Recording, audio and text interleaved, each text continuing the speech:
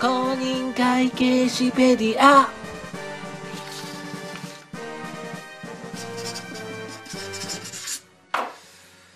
あ立花君。さっき四つ葉電機の PL 増減だけちょっと見たんだけど。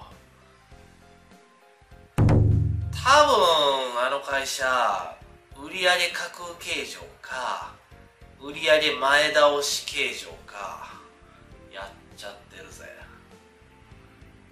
ちょっと調べてほしいんだわ。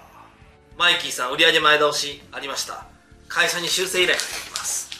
この SP シートの取引さちょっと資料見たんだけど怪しいんだわ。立花君クライアントから契約書をもらってくれる？待てよ。この部屋盗聴されてんぞ。マイキーさんすいません。今少しお時間よろしいでしょうか？何立花君？